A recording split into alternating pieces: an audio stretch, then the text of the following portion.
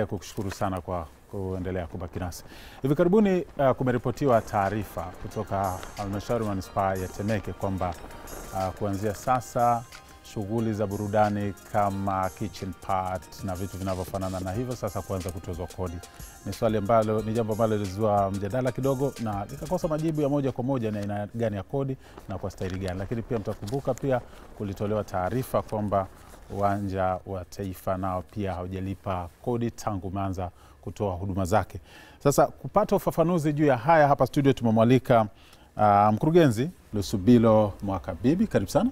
Asante sana. Lakini pia ameambatana na mstahiki meya Abdalla cha urembo kutoka Temeke, karibu sana. Asante, asante, asante. So, mkurugenzi, nafikiri tuanze na hili vibali vya burudani kwamba kuanzia sasa shughuli za vigodoro, kitchen party, harusi na vitu kama hivyo kutoa kodi, ilikuwa ina tafsiri gani? Ya, ilikuwa na tafsiri nzuri tu, labda kwa, kwa introduction yako uliyoifanya pale mwanzo, si kwamba ni uwanja wa Taifa peke yake, ni uwanja wa Azam mm -hmm. hawajatoa hawajalipa kodi yoyote tangu umeanza uwanja wa Azam pamoja na Sabasaba. Kwa hiyo viwanja vitatu hivi kubwa Temeke, na unajua Temeke imebarikiwa kwa kuwa na playgrounds nzuri kama hizo ambazo nimementions. Kwa hiyo havijalipa kodi tangu vimeanza, ambayo ni service levy 0.3 viwanja vyote vitatu. Labda kwa sababu umeanza kutaja viwanja, Naam. tuanzie hapo hapo kwenye viwanja. Naam. Uh, na hivi karibuni miongoni mwa viongozi wa viwanja hivyo walivyovitaja na hasa uwanja wa Taifa alihojiwa na Yeah. alisema kwamba hajui ni aina gani ya kodi anayotakiwa kulipa na hakuwahi kusikia. Labda tufafanulie. Ya, nashukuru sana. Ka, kama ndivyo walivyosema, niyawezekana ni- inawezekana ni kweli, lakini utaratibu wa biashara yote duniani na mara nyingi, wakati mwingine, labda nimseme kwamba walisahau, lakini utaratibu wote duniani brother, unapofanya biashara yako yoyote duniani unajua ina kodi, na ni kwa sababu walikuwa hawajui. Sasa nichukue nafasi hii kuwakumbusha, kwa maana ya uwanja wa Sabasaba pre, uh, nani viwanja vya ukumbi za Sabasaba pamoja na Azam na uwanja wa Taifa kulipa. Kulipa saba kule tunakoonyesha maonyesho kule maonyesho. na kufanyika maonyesho. Hawajawai kulipa service levy. Service levy ambayo nataka nichukue nafasi hii kuwakumbusha huyu aliyejibu sasa kutoka uwanja wa Taifa kwamba ni kitu kidogo tu, ni mauzo yako ya siku ya siku moja yale, kabla hujatoa kitu chochote, unatoa sifuri pointi tatu. Asilimia. 0.3 asilimia, inaitwa city service levy. Hiyo inatakiwa ulipe, ulete manispaa kabla hujagawanya vitu hivyo vyote, si kwenda timu gani, si timu gani, na wote nimewaandikia barua kwamba wanapaswa kulipa service levy kwa wakati within 30 days. Hata nyie Azam nimeshawaletea barua within 30 days mtapaswa kulipa hiyo hiyo fedha tangu ulipoanza kufanya kazi ile uwanja mpaka sasa, na within 30, 30 days kama hamja hamjachukua hatua yoyote, basi tutafanya utaratibu mwingine wa haraka kupata hizo fedha. Utaratibu mwingine sasa kusema hapa, lakini tutatumia utaratibu mwingine ambao itakuwa haraka zaidi kupata hizo fedha mm. ili tuweze kuleta maendeleo katika manispaa yetu, watoto waende shule. Manispaa ya Temeke peke yake ina wanafunzi waliomaliza mwaka jana darasa la saba walikuwa kumi na tisa elfu na waliomaliza waliomfaulu kwenda form 1 walikuwa kumi na saba elfu mia nane na ishirini hivi. Unaona jinsi ambavyo madawati madawati mapya yanatakiwa elfu kumi na mia tatu mapya kabisa, na sasa hivi watu wanapambana kutengeneza Mada, ma, madarasa mapya yanatakiwa mia moja thelathini. Utapata wapi hizo fedha? Ni wananchi wa Temeke, ni mwananchi wewe, ambaye ninashukuru sana Azam mwekezaji, umefanya kazi nzuri ya kuwekeza kitu cha namna hii, ndio maana hata leo tuko tuko hewani.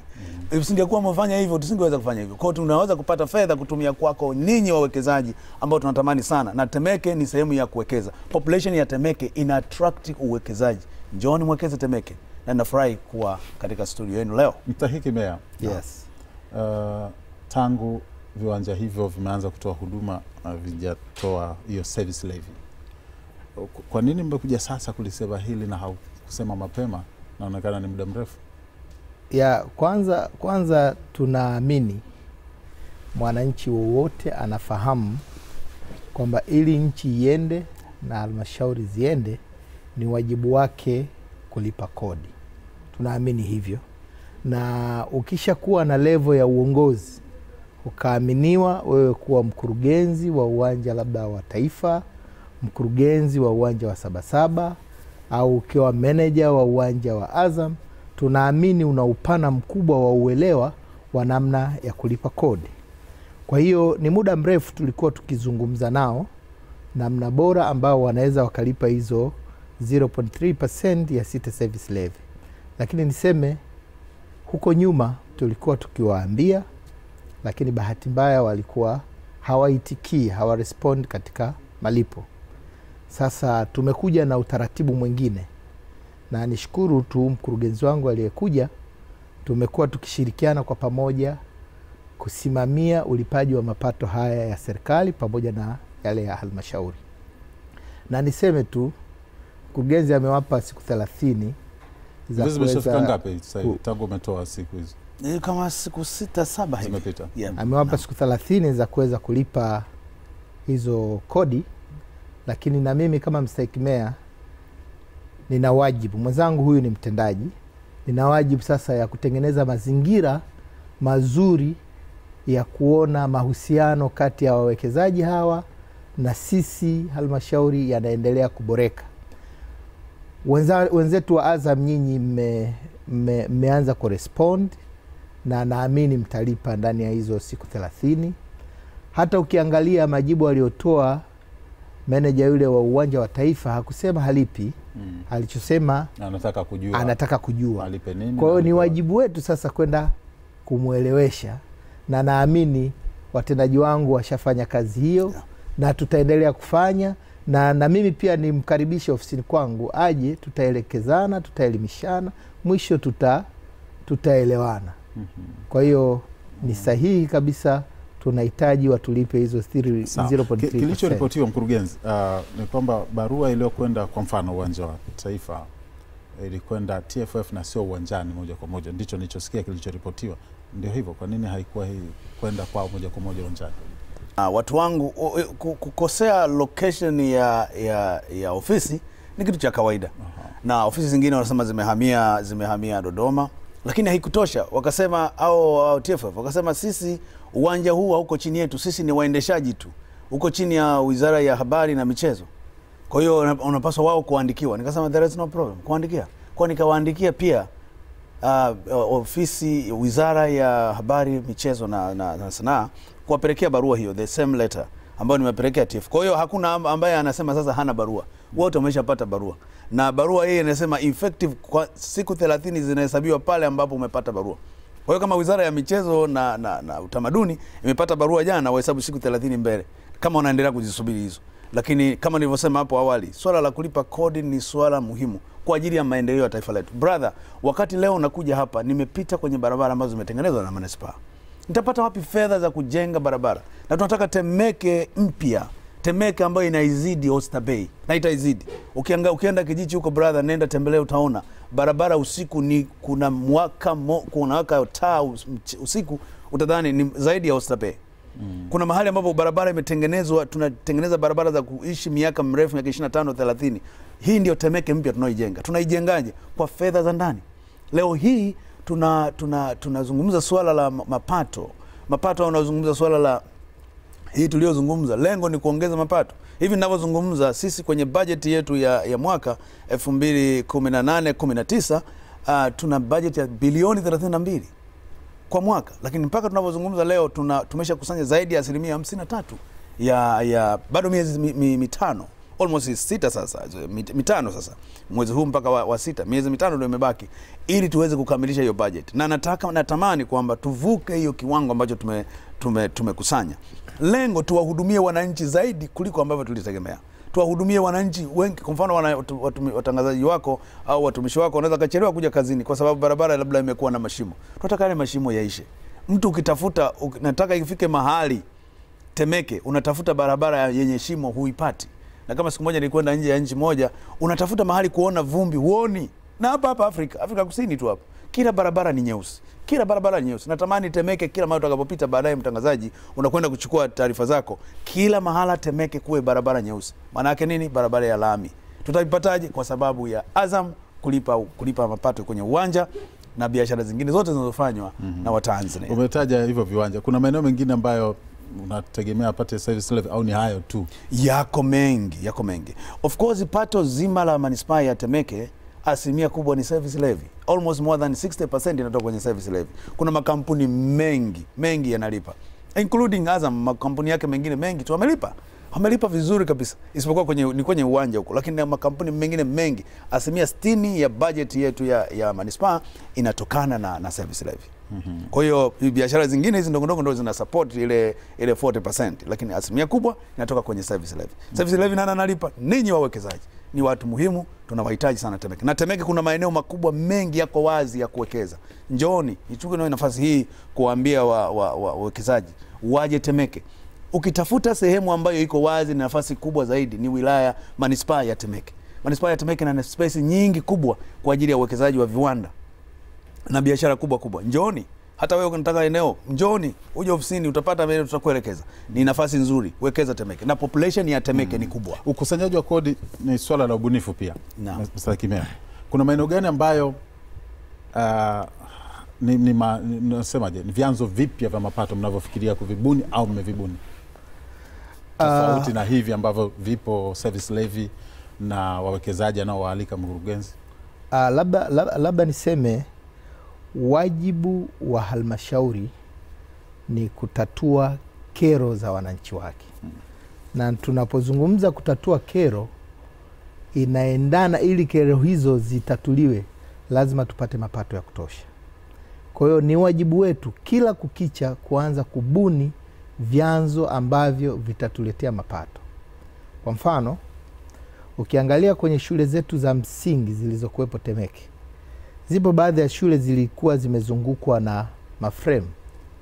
Yale mafremu huko nyuma tulipotoka, utakuta mtu analipa elfu tano yeye anaolipa elfu tano anampangisha mtu analipa laki tano kwa halmashauri inaenda elfu tano kwa hiyo tumekaa kama madiwani tukakubaliana kwamba frame zile sasa zilipe zaidi ya laki mbili kwa mwezi. Kwa hiyo utakuta ukiangalia mapato yetu katika kukodisha majengo ya halmashauri yamepanda kutoka tulipokuwa tunakusanya na mpaka tulipofikia sasa hivi, na ndio maana mwaka jana wakati zinatangazwa halmashauri zilizofanya vizuri katika ukusanyaji wa mapato, halmashauri ya manispaa ya Temeke ilikuwa ni ya pili kitaifa katika kukusanya mapato, na hata sasa hivi ukiangalia tuna asilimia hamsini na tatu ya makusanyo ya mapato. Kwa hiyo tunakwenda vizuri.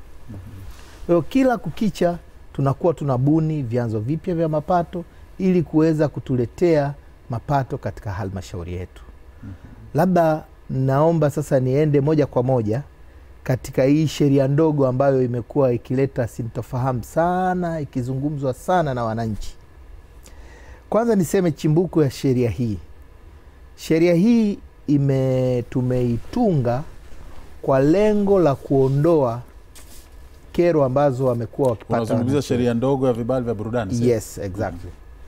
Sheria Hii ambayo imezungumza habari ya vigodoro, Eh, yes, yes, yes.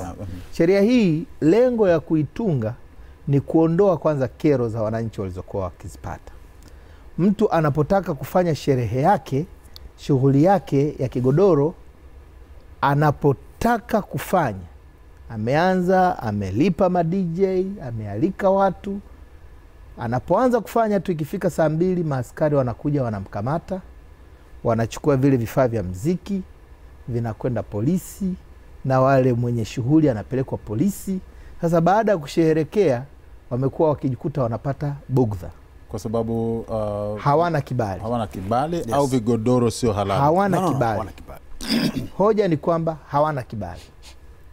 Sasa mwananchi anapokuja halmashauri kutafuta kibali, tunakuwa hatuna sheria ya kumpa kibali cha kufanya iko kigodoro.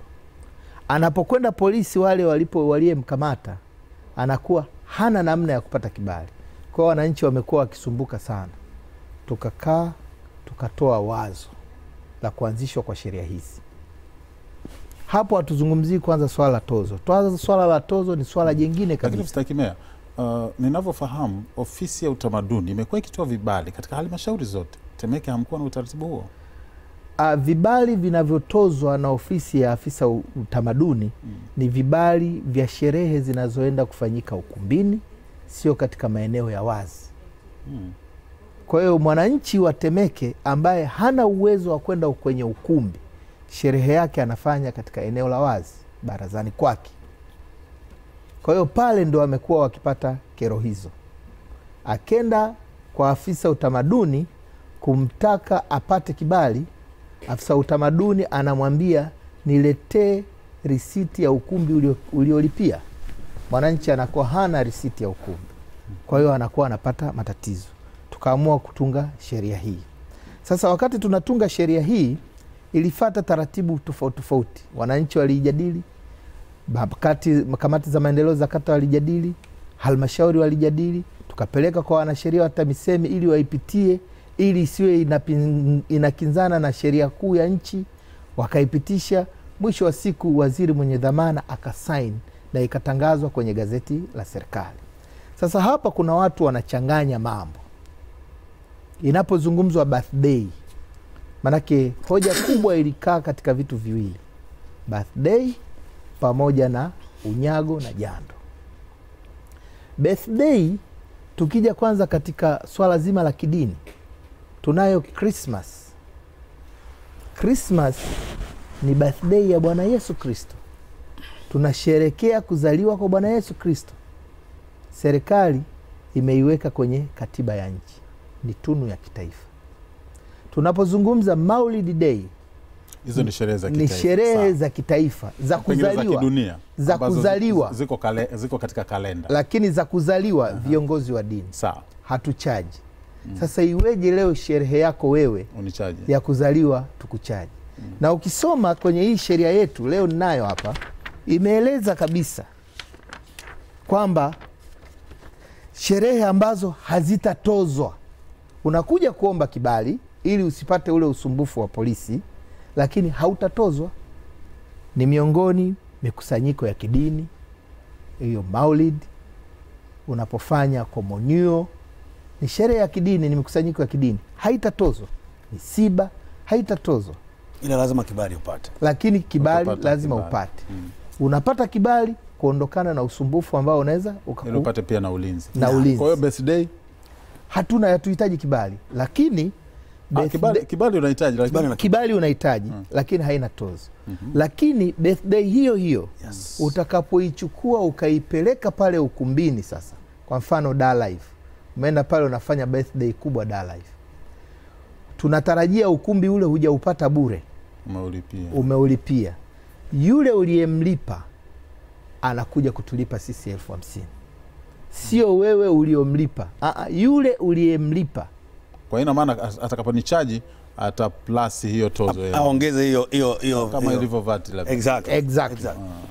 yaani kat, kama, kama ukumbi unatozwa milioni moja basi yeye mwenye ukumbi atatulipa sisi elfu hamsini ambayo ni sawasawa sawa tumefanya flat rate elfu hamsini. tumefanya flat rate ili, Sasa kama nimechukua kwa elfu arobaini ili tu, u, u, utaleta hizo circumstance. Ndio maana tukasema mambo mengine yanazungumzika.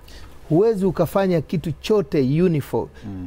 na kikaenda sawa. sawa, mkurugenzi anataka kuongezea. na, na, na hapo hapo kama msaiki alisema tumefanya flight light, umesema swali nzuri kwamba ikiwa elfu arobaini je, hiyo ni swala la kuja ofisini. Akija ofisini anaelewa ukumbi, nimechukua ule ni shingapi. Mtu mwingine unampa kibali bure tu anaenda, lakini brother, haiwezekani ukafanya birthday ya watu hamsini ya mamilioni. Kwa mfano unachukua ukumbi pale Sabasaba unalipa milioni hamsi- milioni ishirini umefanya watu wamekusanyika pale elfu moja unasema wewe tusikulipi, tu- tu- tusikulipishe. Tutakulipisha na tutaangalia pia utaratibu na ukumbi unafananaje. Mahali pengine tunaweza kaangalia tumeweka floodlight, lakini mahali pengine tunajiongeza kulingana na mazingira Kwa mtafanya makadirio. maz, kulingana na mazingira. Kwa mfano ukumbi, kwa mfano ukumbi unachukua watu elfu mbili huwezi kulipa elfu hamsini tutakuangalia kwamba pale huu ukumbi hapana, hapo utalipa zaidi. Lakini haya sasa siwezi kuzungumza hapa, kwa sababu hiyo inategemeana na utakapokaa na afisa utamaduni na afisa biashara, wanakadiriana, kwa sababu huyu anayekuja ni Mtanzania, aliyewakuta ofisini ni Watanzania. Lengo sio kumuumiza, aenjoy na shughuli yake, anapofanya hata kufanya shughuli yake Temeke aenjoy. Na lengo lingine swala la ila la kulipisha hivi swala la vigodoro brother, vigodoro sio na vibeseni na vifagio ni kupunguza pia kitu kingine ambacho ni bugudha kwenye sheria ambayo inasoma msaikimea hapa namba ulionayo hapo mm. inazungumza swala la sherehe yoyote isiwe na, na vurugu kuletea adha mtu Watu wengine. wa, watu wengine kwa hiyo jambo kubwa hapa ni kwamba wewe ufike mahali tunakupa kibali na chenye masharti kwamba kama ni kupiga mziki upige mziki wa namna hii. Ndio pale unavyosema mbona mtu mtu wa utamaduni alikuwa anatoa anatoa vibali, lakini vibali vilivyokuja tunavyoongea sasa sasa hivi kwa sheria inayoanza leo the 1st of February 2019 itakuwa tofauti na masharti yake, kwamba sasa unakwenda kufanya kigodoro, muda wake ndio huu, volume yake ndio hii, ili taifa letu au na eneo letu la Temeke liweze kuwa na amani na furaha, ili na jirani nao wasikereke na shughuli yako. Naam. mnaepuka noise pollution. Exactly my brother. la, labda mimi nataka niweke clear hapo waelewe mm. kuna tofauti ya tozo na kibali mm. kibali ni ruhusa ya kufanya jambo. Ambacho yes. nakilipia pia, sio? Si vibali vyote vinavyolipiwa. si vibali vyote si vibali vyote vinavyolipiwa. Uwezi ukawa na maulid pale nyumbani ukaja ukalipia. Tunakupa kibali, ili usipate bugdha nyingine na upate ulinzi. Uwezi ukawa na komonyuo au ubatizo unaufanyia pale nyumbani Au barazani au kipaimara alafu tukakwambia ulipie hutolipia ila utapewa kibali ili kuondokana na bugdha ambayo unaweza ukaipata wanapokuja askari kukuuliza unacho kibali. Mm -hmm. lakini ukumbuke bwana mtangazaji shughuli hizi nyingine zinafanyika katika barabara. Utakuta ili ufanye shughuli pale mtaani kwako lazima ufunge barabara. Sasa unafungaje barabara? Si utakuwa unasababisha una, una, una bugdha kwa watu wengine? Njoo uombe kibali tutaangalia mazingira tutawatangazia wananchi barabara hii itafungwa kwa sababu ndugu yetu huyu ana shughuli yake mm-hmm. na ile tutakuwa hatutozi nategemea na mazingira ya shughuli yako ambayo unafanya kwa hiyo ukiisoma hii sheria imeelezea kabisa ni mazingira gani mtu anatozwa na ni mazingira gani mtu atozwi mm-hmm. lakini sasa watu wameichukulia moja kwa moja kwamba ni tozo tozo tozo Eh, na birthday imetajwa kama inatozwa. kwa, kwa nini mkurugenzi, unafikiri watu wamepokea vibaya? No, no, ni kwamba inategemeana na mtu aliyesikia jambo hilo. Kwanza alikuwa na kitu gani kichwani? Kama ana mtu ana negative attitude, brother, wewe ni mtangazaji mzuri sana, lakini mtu mwingine ana negative attitude na, na wewe hata ukisema jambo zuri asema yule hana lolote you see? Lakini mimi na appreciate your, your work hizo not, mimi ni mara yangu ya kwanza, lakini nilikuwa na kwanza sikutegemea kwamba nitafika maeneo haya na nikahojiana na wewe siku moja. Mimi toka Kigoma huko wapi na wapi mzee, kuja kufika mjini na hojiana na mtu mkubwa kama wewe. So what I'm saying is is a negative attitude. Mtu anasema birthday, my brother, kuna birthday mwingine anatumia 10 million, alafu tukuache usilipe kodi, anatumia milioni tano milioni mbili kwenye birthday brother. Kwa nini usilipe kodi? Lazima uchangie. Unawaleta watu furaha, unafurahi kwamba Lakini swali umepata kwamba Naam. Na, na, naonywa tu kwamba muda wangu si rafiki sana na, na. lakini ngoja niseme hili la mwisho kwamba mimi ninapokwenda kufanya shopping hizo kwa ajili ya shughuli zangu kila nilichokinunua nimekilipia VAT. Sahihi kabisa. Eh, sasa kwa nini nionekane kwamba sikufanya sawasawa? No, no sio kwamba uonekane kufanya sawasawa. Wewe umekusanyisha watu sasa. mm -hmm. Brother, umezungumza hapa, unapokusanya watu elfu moja mahali pamoja, una, una attract government it take care usalama wako. Wale polisi wanapokuja kuzunguka pale, yale magari tumeweka mafuta, yale matairi kuna wear and tear. Kwa hiyo usione polisi wanazunguka ukafikiri ni, ni serikali eh, pesa zinatoka mbinguni, kuna mnyororo fulani unashusha hela. Ni hizi zinazokusanya manispaa. Kwa hiyo kazi yote hii ni kuhakikisha wewe shughuli yako ambayo umefanya shopping, umelipia kodi, umelipa na VAT, uko fine. At the end kote huko hatuja kuona, tumekuja kukuona ni hapa mwisho. Mwisho japo si kwa umuhimu, wasiwasi wangu kwamba kama shughuli hizi zitatozwa wakati fulani kwa kuangalia mazingira Yes. wasiwasi utakuja kwamba at- itategemea nani ameenda kufanya makadirio, ana attitude gani juu yangu ninayefanya shughuli hii, ana wivu na vitu kama hivyo. Exactly, exactly. Hakuna kukomwana hapa. Nakubaliana na wewe lakini watu wangu kabla ya jambo hili halijaanza nimekaa nao lengo letu Mheshimiwa Rais wa Jamhuri ya Muungano wa Tanzania John Pombe Magufuli anasema tuwajali watu wa chini. Nimezungumza na watu wangu ofisini na msaikimea atasema hapa, tumezungumza nao kwamba lengo letu ni kukusanya kodi ambayo ni fair, kodi kodi ambayo ni rafiki, mwananchi yeye akumbuke mwenyewe kuja kulipa, sio kumkomoa. Wewe mtu anakwenda kwa, mfano hata ukimkadiria am, ule afisa akimkadiria hela nyingi ina, ina faida gani? Lakini ukikadiria hela nyingi, unadidimiza una, una unadidimiza business, watu wasije wengi kulipia ule ukumbi. Kwa lengo tunaweka fair, tumechange mindset ya watu wetu ili wafikiri positive, ili wa- wa- negative kama huyu aliyefikiri uh, negative juu ya birthday wanaisema birthday Mm. yes. La- la- la- la- Mwisho Jehova. labda la- labda mimi ni, niseme jambo moja naomba ili watu walizingatie vibali na tozo ni vitu vili tofauti tofauti vibali ni idhini ya kufanya ya shughuli. kufanya shughuli kwa hiyo sheria hii inazungumzia idhini ya kufanya shughuli Mhm.